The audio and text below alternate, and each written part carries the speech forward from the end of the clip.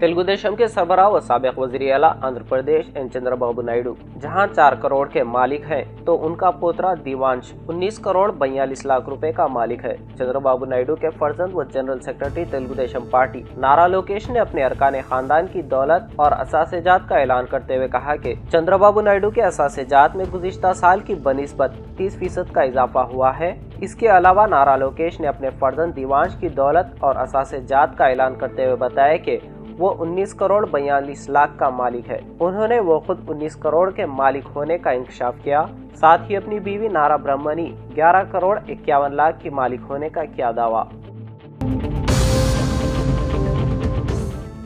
کانگریس کے رکن پارلیمان کومٹ ریڈی وینکٹ ریڈی نے کہا کہ پردیش کانگریس کمیٹی کی صدارت تبدیل ہو سکتی ہے اور وہ صدارت کے دعوے داروں میں شامل ہے اور بہت جلد صدر کانگریس سونیا گاندھی سے بھی ملاقات کرنے والے ہیں۔ ان کا ایک ہی مقصد ہے کانگریس کو اقتدار میں لانا۔ بھونگیر حلقہ لوک سبھا کی نمائندگی کرنے والے کومٹ ریڈی وینکٹ ریڈی نے کہا کہ وزیر اعلیٰ کے سی آر کو ریاست کی ترقی سے زیادہ کمیشن پر زیادہ توجہ ہے۔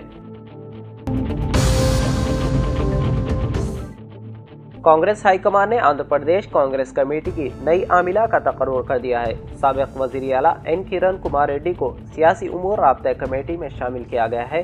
آل انڈیا کانگریس کمیٹی کے جنرل سیکرٹری وینو گوپال نے ایک پریس ریلیز کرتے ہوئے بتایا کہ آندھر پردیش کانگریس کمیٹی کے لیے گیارہ نائب صدور، اٹھارہ جنرل سیکرٹریز انیس قائدین پر مشتمل کوارڈینیشن کمیٹی، بارہ افراد پر مشتمل سیاسی امور کمیٹی اور اٹھارہ اضلاع صدور کا کیا اعلان۔